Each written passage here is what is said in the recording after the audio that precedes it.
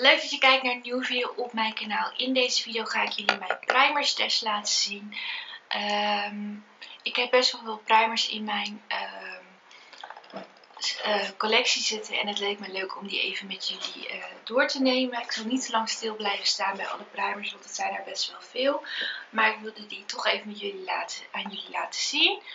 Ehm, mocht je niet weten wat een primer is, een primer is een soort basis die je aanbrengt onder je make-up en die ervoor zorgt dat je make-up wat langer op zijn plek blijft zitten. Dus mocht je benieuwd zijn naar, naar de primers die ik in mijn stash heb zitten, zou ik even zeggen, kijk gezellig mee met deze video. Ik ga de producten een beetje random uh, uit het doosje halen, want um, ja, het ligt niet op volgorde of zo. Dus ik ga gewoon de merken een beetje door elkaar heen laten zien.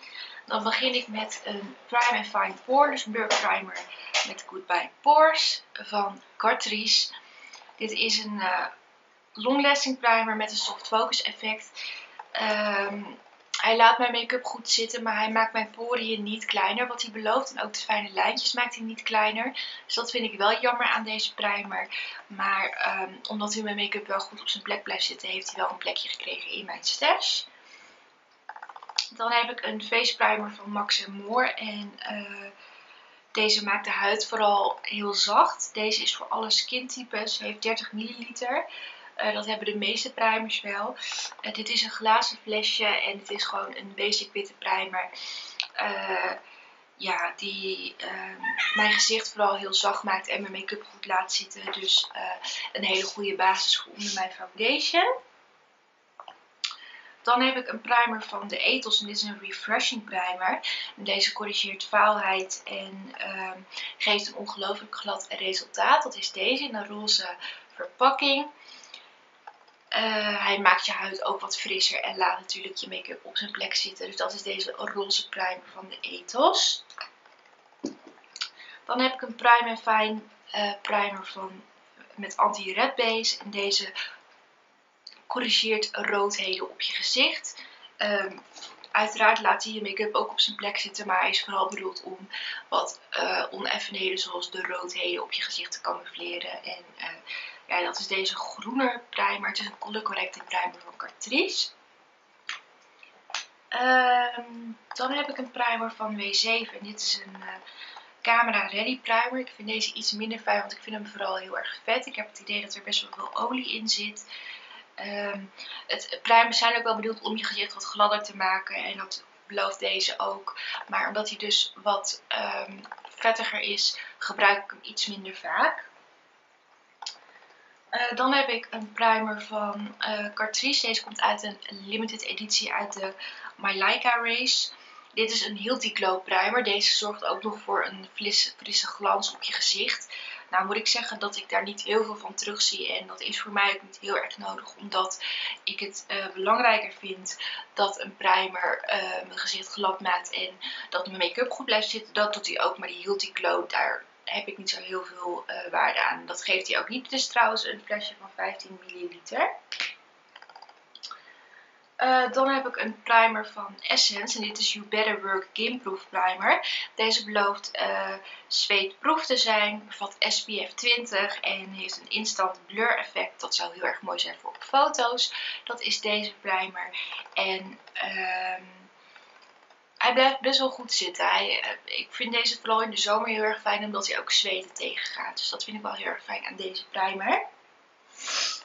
Dan heb ik nog een primer uit een uh, limited editie van Catrice. En dat is de Lala Berlin. Ook 15 milliliter overigens.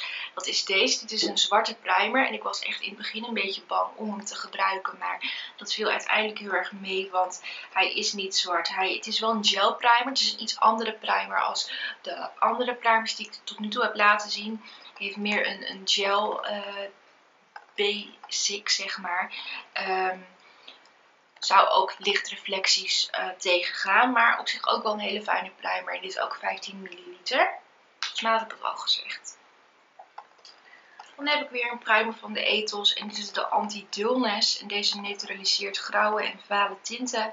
En uh, ja, belooft ook weer dat ze super gladde resultaat. Dat doen al die primers van de Ethos.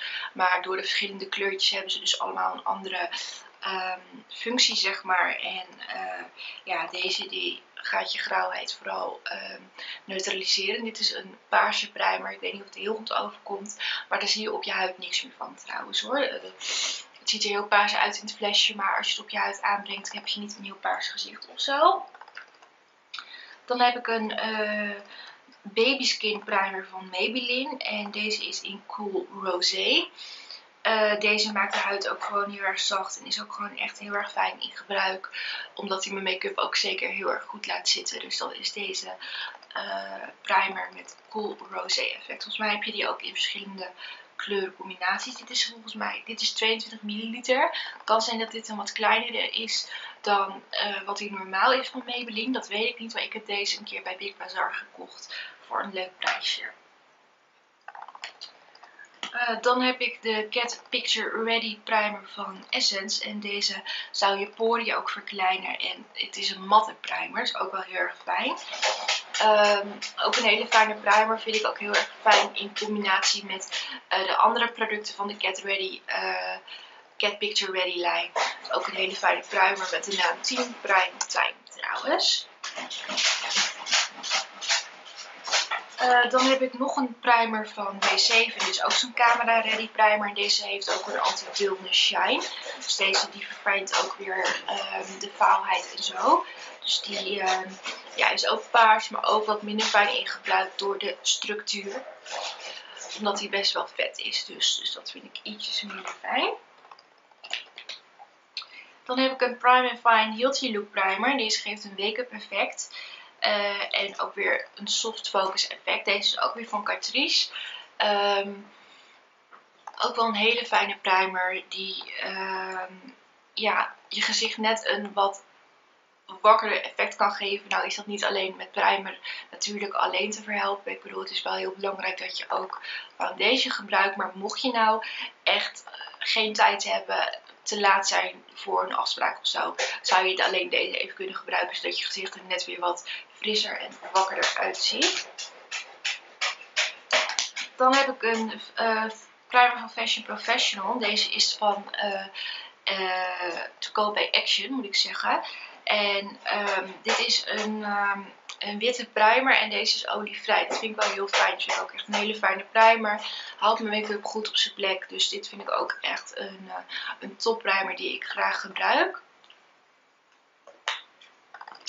Dan heb ik een van mijn allereerste primers. Of deze heet eigenlijk nog een make-up base. Maar voor mij valt het ook onder primer. Deze is van de Hema.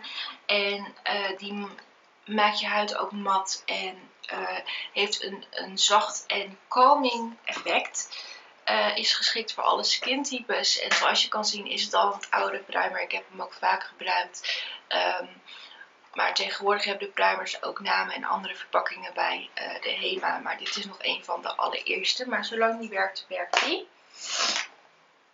Dan heb ik nog een Prime Fine Beautifying Primer van uh, Even Skin Tone Optically. En dit vind ik ook wel heel erg fijn bij een van de foundations. En deze belooft vooral een soft focus effect en heeft een uh, natuurlijk effect ook op het gezicht. Hele fijne primer ook. Ik vind die primers van Catrice over het algemeen heel fijn. Omdat ze mijn make-up lang laten zitten. Echt niet allemaal doen ze wat ze beloven. Maar op zich vind ik deze primer ook wel heel erg fijn. Dan heb ik nog deze primer. Deze komt uit de limited editie Blurred Lines van Catrice ook. En dit is ook een hele zachte primer. Maar ik vind het best wel een kleine verpakking. Maar um, ja, hij maakt mijn huid wel zacht en laat mijn make-up wel goed op zijn plek zitten. Verder um, ja, is hij gewoon best wel rijkelijk bedeeld zeg maar met... Um, uh, wat ingrediënten waardoor je huid gewoon best wel zacht wordt. Dus op zich wel een hele fijne primer, alleen best wel een kleine verpakking en dat vind ik best wel een beetje jammer. Maar oké, um, je kunt er wel um, ja, je make-up lekker lang door laten zitten. Dan heb ik een Light Correction Serum Primer met Sunlight. Deze is van Catrice. Deze zit in een flesje met zo'n pipetje zeg maar uh, in 020 Sunlight. En ik vind deze vrij donker, want hij heeft best wel, je krijgt al best wel een beetje een gouden gloed over je huid heen. Dus om dit met foundation weer te, ja, te gaan corrigeren is dat soms niet altijd even makkelijk. Maar ook wel een hele fijne primer. Deze moet je goed scheuren voor gebruik. Alleen het aanbrengen vind ik iets minder fijn door het pipetje. Uh, even kijken hoor, wat hebben we dan nog meer? Oh, dan heb ik nog zo eentje van Catrice. En dit is de Candlelight. Precies hetzelfde als diegene die ik net had. Alleen dit is echt een lichtere. Dit is de 010 Candlelight zoals ik al zei. Ook weer met dat, um, ja, dat pipetje wat ik iets minder fijn vind. Maar hij geeft ook al een lichte correctie. En dat vind ik wel heel erg prettig. Dan nog een primer van Catrice. En dit is de Pore Refining Anti-Shine Base. Uh, is olievrij en uh, maakt je huid mat. Uh, en hij zou je poriën wat kleiner maken. Nou, ik zie dat zelf nooit heel erg goed terug in primers. Maar op zich vind ik het ook wel weer een fijne primer die zijn werk goed doet. Dan nog een primer van Ethos. En dit is gewoon een primer die de huid uh, mat maakt. Een witte primer. En um, hij absorbeert ook talg. En is heel erg geschikt voor een vette huid. Dus dat is ook wel heel erg fijn aan deze primer. Dan heb ik nog een uh, primer fine van Cartrice. Een primer van de, met een nude glow. Uh, en deze heeft uh, pomegranate olie. Dat is dus deze. En dit is een... deze is, heeft een kleine tint. Er zit een klein beetje kleur in. En um, ja, door die olie wordt je huid er ook wel heel erg lekker zacht van. Het is wel weer wat vetter, maar ja, op zich um, geeft hij wel een hele naturelle look. En dat vind ik ook wel heel erg fijn aan deze primer. Uh, dan nog een primer van de Ethos. En dit is ook een groene met voor anti-redness. Deze maakt je huid dus minder rood. Als je roodheden heeft, corrigeert hij deze. Dus dat is ook wel weer heel erg fijn. Dit zijn trouwens ook glazen flesjes, dus daar moet je altijd extra voorzichtig mee zijn. Ik weet niet hoe het nu met de primers van de edels is gesteld, want dit zijn nog primers uit de wat eerdere collecties. Um, ja, dan heb ik een anti-shine blur stick en dit zie ik ook eigenlijk wel een beetje als een primer. Ook van Prime Fine en uh, ja, het is iets anders dan een primer, maar net op de punten waardoor je uh, wat meer mm, je huid mat wil hebben. Bijvoorbeeld de T-zone en je neus kunnen vaak sneller gaan glimmen. Zijn deze producten heel erg fijn. Nog een primer van Catrice en dit is een smoothing refiner. Vind ik iets minder fijn, want het is een potje. Dus je kunt hier iets minder makkelijk mee uh, aan de gang. Het is wel echt een hele zachte primer die op zich wel heel fijn aanbrengt. En um, ja, deze doet wel echt de lijntjes corrigeren. Dus dat is heel erg prettig.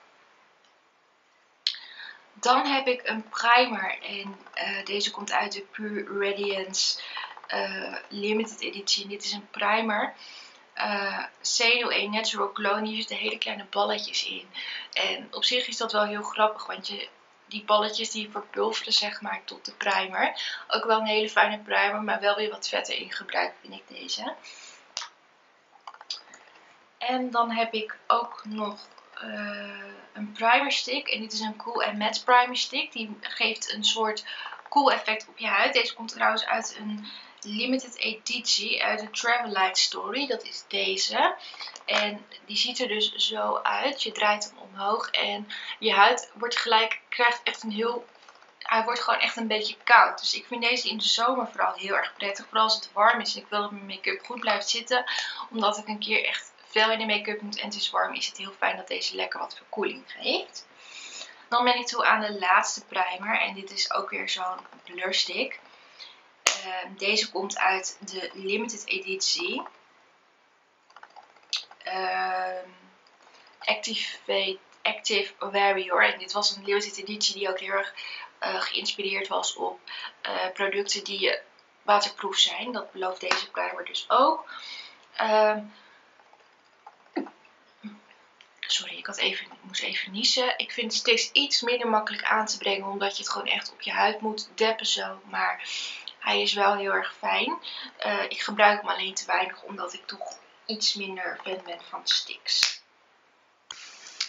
Dan waren dit alweer al mijn primers. Uh, ik ben er wat sneller doorheen gegaan, omdat het anders een super lange video wordt en er niet heel veel over te vertellen valt. Maar ik wilde jullie toch even een kijkje geven in mijn stash. Ik hoop dat je het weer leuk vond om te zien. Ben je nieuw op mijn kanaal kun je je gratis abonneren. Um, als je ook even op het belletje drukt krijg je een melding zodra er een nieuwe video online staat. Ik ben eigenlijk wel benieuwd wat jullie favoriete primer is. En uh, ja, of dat je überhaupt wel primer gebruikt. Misschien heb je er wel helemaal niks mee. Laat het zeker even weten in de comments. Ik wil je heel erg bedanken voor het kijken. En ik hoop je bij een nieuwe video weer te zien. Mocht je deze video leuk vinden, doe dan even je duimpje omhoog. En dan uh, zou ik zeggen tot de volgende. Doeg!